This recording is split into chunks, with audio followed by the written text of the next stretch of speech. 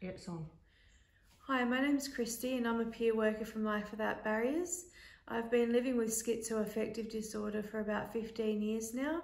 Schizoaffective disorder is a combination of schizophrenia and a mood disorder, either bipolar or um, depression.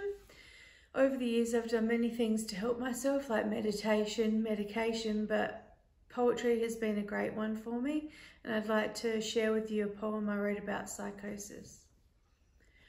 Remember what it was like to have the stars in your eyes? Your mind was on the journey, not the final prize, but now you're stuck in the present, consumed by psychosis, walking around disconnected from the truth, a state of hypnosis.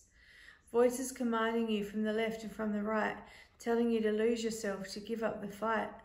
They really don't care that you don't want to die, but they want you gone and never again to try. Visions plague your eyes and then your tired mind, the only thing you really wish for now is just to go blind. Shadowy figures walk around and walk past and cats wander around. Objects once on the floor are now hovering off the ground. You stand there at the curtain waiting for the police to arrest you. You've caused so much suffering and now punishment is due. 3 a.m., no police, you're sure it's a conspiracy or a warning that you've got to be vigilant at least until late morning.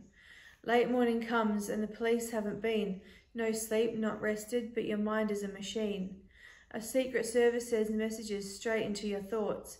You're to gather information and write up detailed reports.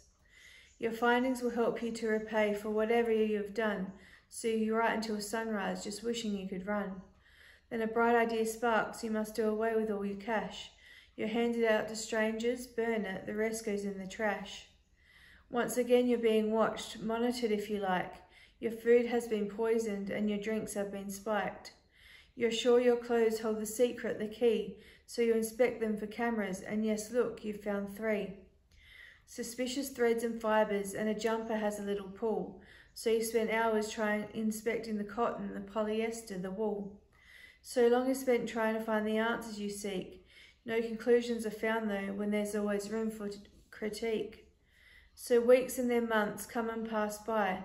Moments arise where your brain starts to comply.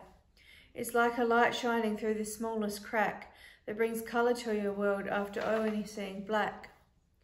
Your mind is controlled, but not by something external like you think. It's this illness that's put everything out of sync. The pills, the therapy now allow sighs of relief, and what once were solid thoughts you now think of in disbelief. The haze in your mind lifts and it becomes quite clear that you were in a state of psychosis and there was nothing to fear other than the illness that put you in harm's way, but you are safe now, you are no longer its prey.